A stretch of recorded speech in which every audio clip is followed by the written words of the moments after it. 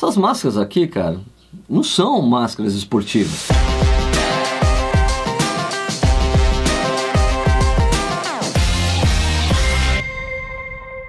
Opa, seja bem-vindo ou bem-vinda ao Corrida no Ar. Meu nome é Sérgio Rocha. E olha, mano, isso aqui não é máscara esportiva. Na verdade, não existe isso de máscara esportiva, gente. Eu não tô querendo polemizar nada. Eu só sou contra esse conceito esquisito aí. Quando a gente fala de equipamento esportivo, a gente fala de produtos que ajudam ou melhoram a prática esportiva normal. Vamos lá. Camisetas que ajudam na troca de calor, tênis com amortecimento para proteger os pés, óculos que tem construção que fazem com que ele não embace quando a gente corre com ele, relógio com GPS GPS para você saber o ritmo, a distância que está correndo, fone de ouvido à prova de suor. Isso tudo são coisas que ajudam a gente na hora de correr. Correr de máscara atrapalha. Não importa que máscara ela seja, se é de knit, se é de tecido tipo dry fit, elas não auxiliam e nem facilitam a performance esportiva. Não é natural correr de máscara bloqueando a entrada e saída de ar enquanto a gente corre. Na verdade, essas máscaras são estilo redução de danos. É menos pior correr com essas máscaras do que com as convencionais. Ser menos pior,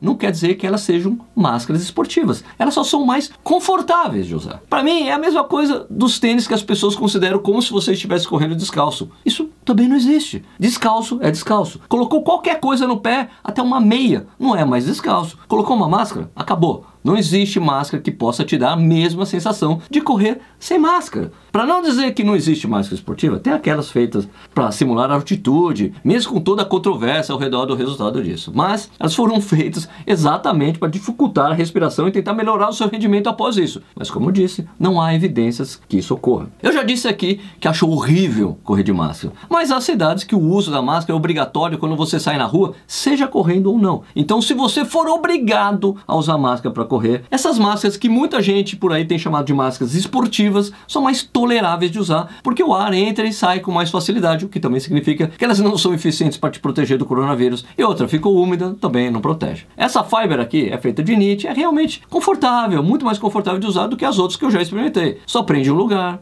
você consegue ajustar melhor, fica mais fácil na hora de tomar água, por exemplo. Você compra a máscara e um kit de filtros, mas olha, ela não tem um valor que seja acessível a todos. A máscara mais o kit com os filtros sai por quase 100 reais. Tem outro modelo chamado Blackbird, que os atletas do Cláudio Castilho têm usado, como a Adriana Aparecida da Silva, e ele me falou que ele tem gostado de correr com ela e melhor do que as outras alternativas. Eu vou deixar o link de atletas do Cláudio Castilho aqui embaixo, porque se você comprar a máscara usando o cupom desse pessoal, você acaba ajudando os atletas, porque eles ganham uma pequena comissão por venda. Como eu tô com uma esteira em casa, eu prefiro correr por aqui a correr com máscara na rua, por mais confortável que isso, aqui, isso aqui possa ser. Mas, por favor, você tem corrido na rua com ou sem máscara, mantenha o distanciamento social, não saia para correr em grupo, né? A pandemia ainda não acabou, a gente não sabe ainda quando vai acabar, né? Para que colocar você e seus amigos em risco? E aí, você já correu com essas máscaras menos piores? O que vocês acharam? Que máscara você acha menos pior? Conta pra mim. Vamos falar sobre isso aí. Se você gostou desse vídeo, por favor, deixe um joinha, se inscreva no canal, siga o Corrida no Ar nas mídias sociais, você pode ajudar financeiramente que a gente faz por aqui, basta você se tornar membro do canal. Tem um botão aqui, seja membro, você já ajuda a gente de alguma maneira, beleza? Se você assistiu esse vídeo até agora, muitíssimo obrigado, até a próxima.